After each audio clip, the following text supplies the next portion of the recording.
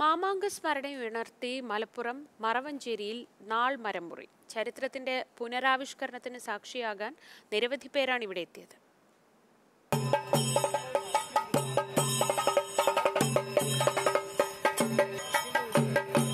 ചരിത്രപ്രസിദ്ധമായ മാമാങ്ക ഉത്സവത്തിൽ നിർമ്മിക്കുന്ന സാമൂതിരിയുടെ താൽക്കാലിക കോവിലകവും തുറമുഖ കച്ചവടത്തിന്റെ മേധാവി ഷാബന്ദർ കോയിയുടെ കോശവീടും ഉൾപ്പെടെയുള്ള മാമാങ്ക നിർമ്മിതിക്കായുള്ള മരങ്ങൾ മുറിച്ചിരുന്നത് മാങ്കുളത്തു നിന്നായിരുന്നു.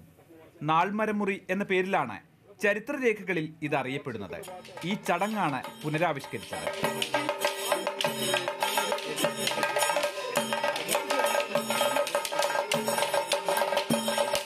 ജനുവരിയിൽ തിരുനാവായയിൽ നടക്കുന്ന മാമാങ്ക മഹോത്സവത്തിന്റെ ഭാഗമായി സാംസ്കാരിക സംഘടനയായ റിയക്കോയും മാമാങ്ക മെമ്മോറിയൽ ട്രസ്റ്റും ചേർന്നാണ് വീണ്ടും നാൾമരമുറി സംഘടിപ്പിച്ചത്.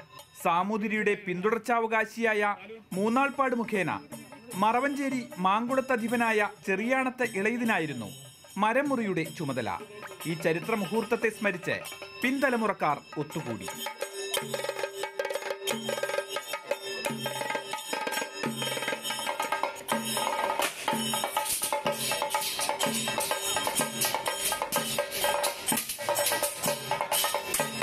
മാതൃഭൂമി ന്യൂസ് മലപ്പുറം.